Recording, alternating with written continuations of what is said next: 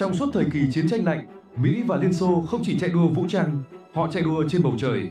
Không có chỗ cho sai lầm. Một chiếc radar bị nhiễu và một phi đội có thể tan xác. Một cú xoay chậm và bạn sẽ thành mục tiêu sống trong vài giây ngắn ngủi. Khi F-15 xuất hiện vào năm 1976, nó không đơn thuần là một chiếc máy bay chiến đấu, nó là lời tuyên bố Mỹ sẽ không bao giờ để mất ưu thế trên không. Eagle được thiết kế để thắng mọi thứ, từ MiG-21 cho đến cả tương lai mà không ai dám tưởng tượng. Và rồi Liên Xô đáp trả, không phải bằng một bản sao, mà bằng một đòn phản công chiến lược Su-27, chiếc máy bay không phải để bắt kịp Eagle, mà để vượt qua nó. Flanker là một cơn bão khí động hoặc một cỗ máy cơ động siêu phàm, có thể lướt, xoắn, luồn trong không khí như thể đang thách thức định luật vật lý. F-15 là cú đấm thép bay nhanh và đánh xa. Su-27 là võ sĩ quyền Anh bước vào xa đấu với khả năng né đòn như nước và tung cú móc hiểm hóc.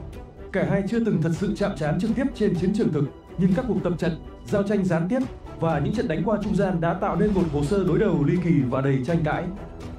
Vậy nếu F-15 và Su-27 gặp nhau thực sự, điều gì sẽ xảy ra? Tên lửa nào khai hỏa trước? Ai sống sót? Ai rơi? Và liệu chiến thắng thuộc về công nghệ hay sự liều lĩnh? Câu trả lời nằm trong chính bản thiết kế, triết lý chiến đấu và lịch sử đã hôn đúc nên hai chiến binh bầu trời này. Để hiểu được tại sao F-15 và Su-27 lại ra đời như hai con thú săn mồi thuộc hai thế giới đối lập, chúng ta phải quay ngược thời gian về những năm 1960, nơi không chiến thực sự không giống bất kỳ lý thuyết nào người ta từng viết ra. Tháng 5 năm 1967, trên bầu trời miền Bắc Việt Nam, một chiếc F-4 Phantom của không quân Mỹ bị một chiếc MiG-21 nhỏ hơn, nhẹ hơn và không có radar hạ gục bằng một cú bắn chính xác. Đó không phải là sự kiện duy nhất. Hàng loạt F-105 và F-4 khác rơi dụng trong các trận không chiến cự ly gần, điều mà giới chỉ huy Mỹ không ngờ đến. Không chiến tầm gần, tưởng đã là quá khứ, bỗng trở lại như một bóng ma. Và thế là không quân Mỹ hoảng loạn tìm kiếm giải pháp. Giải pháp đó chính là McDonnell Douglas F-15, một chiếc chiến đấu cơ không thỏa hiệp với động cơ kép, khả năng leo cao, tốc độ trên Mach 2 và khẩu pháo M61A1 Vulcan 20mm đầy uy lực. Cùng lúc đó, bên kia đại dương, các sĩ quan không quân Liên Xô ngồi trong những căn phòng đầy bản vẽ và tin tức tình báo nóng hổi về chiếc F-15 mới ra đời. Họ hiểu ngay, nếu không hành động, bầu trời sẽ không còn là của họ. Và thế là, Viện Thiết kế Sukhoi bắt đầu một dự án mật PFI, viết tắt của Frontline Fighter. Không giống MiG-29 chuyên cho tầm gần, PFI sẽ là con thú săn mồi chiến lược và nó chính là thứ mà chúng ta ngày nay gọi là Su-27 Flanker. Hai chiếc máy bay sinh ra từ hai nỗi sợ khác nhau, một phía sợ bị lép vế về cơ động, phía còn lại sợ bị bỏ lại phía sau về công nghệ. Cả hai đều tìm cách giành lại sự chủ động bằng thép, động cơ phản lực và tư duy chiến tranh hiện đại. Năm 1968, báo động đỏ vang lên trong lầu Năm Góc. Báo cáo tình báo từ Liên Xô cho thấy sự xuất hiện của MiG-25 Foxbat, một chiếc máy bay đánh chặn bay nhanh tới Mach 2.8 với trần bay hơn 20.000 mét. Đó là lúc không quân Mỹ nhận ra Phantom 2 không còn là biểu tượng của ưu thế nữa. Họ cần một con chim săn mồi mới, mạnh mẽ, chính xác và bất khả chiến bại.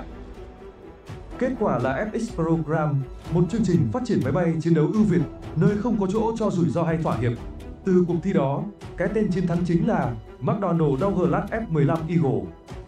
F-15 không chỉ là một máy bay nó là tuyên ngôn của không quân Mỹ, không một chiếc F-15 nào từng bị bắn hạ trong không chiến. Tuyên ngôn ấy được đúc bằng titan, bằng động cơ đôi Pratt và Whitney F100, mỗi chiếc tạo ra hơn 23.000 pound lực đẩy. Thiết kế cánh thẳng mở rộng cho khả năng bay ổn định ở tốc độ cao, cánh đuôi đôi dựng cao để kiểm soát tốt khi nhào lộn ở tốc độ siêu âm.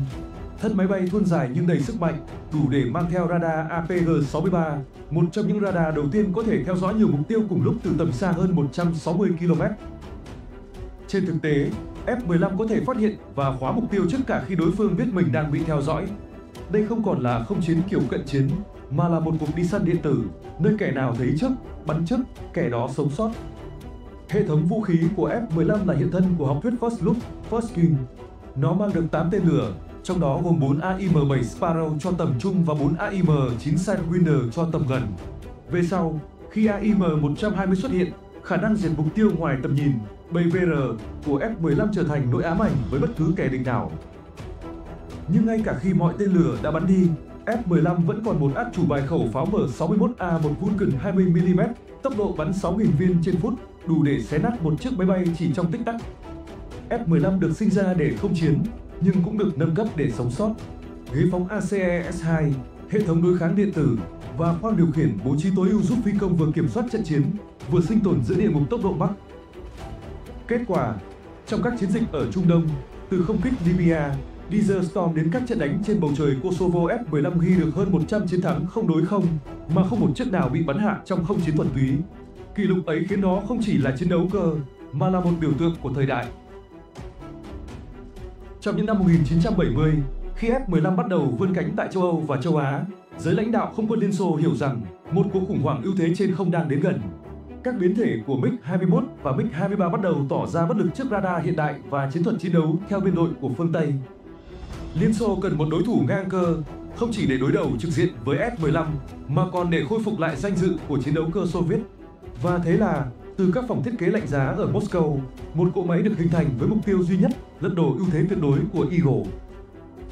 Đó là Su-27 Flanker, con thú săn mồi mang dáng hình của tốc độ, sức mạnh và sự cơ động tuyệt đối. Nếu F-15 là kiếm sĩ điêu luyện, thì Su-27 là võ sĩ đường phố có thể lướt qua mọi đòn đánh. Với chiều dài 21,9m và xẻ cánh gần 15m, Su-27 không phải là một chiếc máy bay nhỏ, nhưng nó lại sở hữu tỷ lệ lực đẩy trên trọng lượng vượt trội nhờ cặp động cơ Liunga An 31F, mỗi chiếc sinh hơn 27.000 pound lực đẩy. Cấu trúc khí động học đặc biệt với cánh liền thân, blended wing body, cánh mũi lớn và phần đuôi đôi, cho phép Su-27 thực hiện các động tác nhào lộn mà không chiến đấu cơ phương Tây nào lúc đó có thể bắt trước. Cú bẻ gấp Cobra Pugachev, nơi Su-27 hãm tốc đột ngột rồi ngóc mũi lên như rắn hổ mang, không chỉ là kỹ thuật trình diễn, mà là một chiến thuật trốn tên lửa, gây nhiễu đòn công kích của đối phương. Su-27 không chỉ đẹp ở hình dáng, nó còn được trang bị hệ thống điện tử đầy tham vọng. Radar N001 có khả năng theo dõi nhiều mục tiêu kết hợp với hệ thống tìm kiếm hồng ngoại IRST, không phát sóng, giúp phi công flanker có thể tiếp cận và khóa mục tiêu mà không bị phát hiện. Về vũ khí, Su-27 mang đến 10 điểm trao vũ khí với một kho tên lửa đáng gờm từ R-27 tầm trung bán chủ động radar đến R-73 tầm ngắn siêu linh hoạt, nổi tiếng nhờ khả năng khóa mục tiêu qua mũ bay sớm hơn cả phương Tây. Trong không chiến tầm gần, tổ hợp R-73 hệ thống ngắm bằng đầu đã khiến Su-27 có thể khóa và bắn mục tiêu chỉ bằng cách nhìn vào đối phương. Một lợi thế chết người trong những tình huống quay vòng sát nút. Flanker không có khái niệm bị động. Thiết kế của nó cho phép chịu được lực cơ cực lớn trong thời gian dài và khả năng mang lượng nhiên liệu khổng lồ giúp nó hoạt động trên khoảng cách vượt trội. Trong những phiên bản sau này như Su-27 SM, Su-30 và Su-35, những tính năng điện tử phản công điện tử và radar bằng pha được cải tiến sâu sắc, đưa dòng máy bay này trở thành trụ cột của không quân Nga hiện đại. Một bên là đại bàng, thợ săn điện tử của Mỹ, một bên là kỵ sĩ của không trung Xô Viết, là lất, lặng lẽ và chết chóc.